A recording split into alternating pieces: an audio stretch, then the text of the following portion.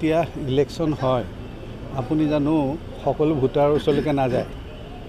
ভোটাৰে ভোট দিয়ে নিদিয়ে সেইটো বেলেগ কথা। কিন্তু যদি কাৰোবাৰ ওচৰলৈ নাযাওঁ তেতিয়াহ'লে তেখেতক উপেক্ষা কৰাৰ লেখীয়া হয়।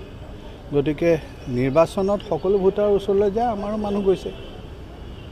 কিন্তু ভোট নালাগে বুলি কৈছিলে প্ৰথমতে ভোট এটা থাকে ৰাজনৈতিক সৌজন্যতাৰ কথা।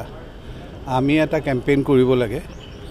নিৰ্বাচনী প্ৰচাৰৰ অংগ হিচাপে আমাৰ যিসকল বিধায়ক আছে বিশেষকৈ বাগান অঞ্চলৰ পৰা যিসকল আহিছে তেখেতসকলৰ সম্প্ৰদায়ৰ এগৰাকী প্ৰাৰ্থী এইবাৰ ৰাষ্ট্ৰপতি পদৰ বাবে মনোনীত হৈছে। গতিকে তেখেতসকলৰ এটা আগ্ৰহ আছিল যে তেখেতসকলে সকলোকে সকলোৰ ওচৰতে যাব সকলোকে অনুৰোধ কৰিব যাতে জনজাতীয় মূলৰ এগৰাকী মহিলা প্ৰাৰ্থী প্ৰথমবাৰৰ বাবে যাতে ভাৰতবৰ্ষৰ ৰাষ্ট্ৰপতি হ'ব পাৰে আৰু সেইবাবেই তেখেতসকল গৈছে। নিৰ্বাচনত সকলোৰ ওচৰলৈকে সকলো যাব?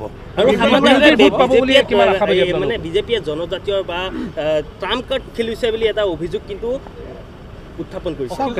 কৈছে যে উচ্চতম ন্যায়ালয়ে যি ৰায় দিছে তাত ক্ৰিমি লেয়াৰত পৰে দ্ৰৌপদী মুৰ্মু। গতিকে তেওঁক এটা ট্ৰাম্প কাৰ্ড খেলি আছে। অলপ আগতে অখিল ডাঙৰীয়া মোৰ লগতো কথা পাতিছিল। মই বোলো আপুনি যিটো ছুপ্ৰিম কোৰ্ট সেইটো ভালকৈ পঢ়া নাই চাগে। কিয়নো সেইটো অ' বি চিৰ ক্ষেত্ৰত আছিলে ক্ৰিমি লেয়াৰটো। অন্য ক্ষেত্ৰত নাই। মই আৰু এটা কথা সুধিব বিচাৰিছোঁ যে অখিল গগৈক লৈ এ আই ডি এফে এতিয়া সন্দেহ প্ৰকাশ কৰিছে কৈছে ৰাজ্যসভাতো তেওঁ সন্দেহজনক আছিলে আৰু আজিও তেওঁ সন্দেহজনক ভূমিকা অৱলম্বন কৰিব। এতিয়া মইনো কি ক'ম এইটো আপোনালোকে হুঁচৰি উলিয়াব পাৰিব। বিৰোধী ভোট পাব বুলি কিমান আশাবাদী? যদি পায় কিমান মান ভোট পাব বুলি আশাবাদী? চাওক এইটো ৰাষ্ট্ৰপতি হয় যে ৰাষ্ট্ৰপতি সকলো দলৰে হয় সকলো জনগোষ্ঠীৰে হয় আৰু ভাৰতবৰ্ষৰ প্ৰত্যেকগৰাকী নাগৰিকৰ বাবেই ৰাষ্ট্ৰপতি। গতিকে ভাৰতীয় নাগৰিক হিচাপে যিকোনো ব্যক্তিয়ে যদি অনুভৱ কৰে যে তেখেতে কোনোবা এগৰাকী প্ৰাৰ্থীক ভোট দিব খুজিছে গতিকে তেখেতৰ সেই অধিকাৰটো আছে। ইয়াত কোনো হুইপ বা তেনেকুৱা দলীয় বাধা বাধ্যবাধকতাৰ কথা নাই। মই এটা বেলেগ প্ৰথম প্ৰসংগ ওলাইছোঁ। এই চিৰা, মুড়ি, এই এইবিলাকত জি এছ টি লগোৱাকৈ এটা।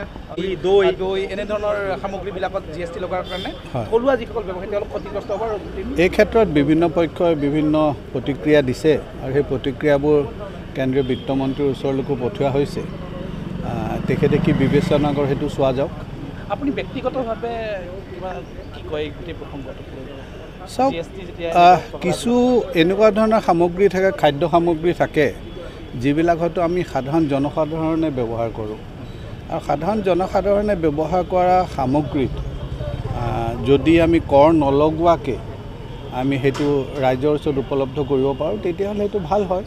কিন্তু বিত্তমন্ত্ৰীগৰাকীয়ে হয়তো কিবা এটা তেনেকুৱা চিন্তা কৰিয়ে তেখেতে কৰিছে। তেখেতৰ ওচৰলৈ ৰাইজৰ যিটো ক্ষোভ সেই ক্ষোভৰ সম্পৰ্কে তেখেতক জনোৱা হৈছে।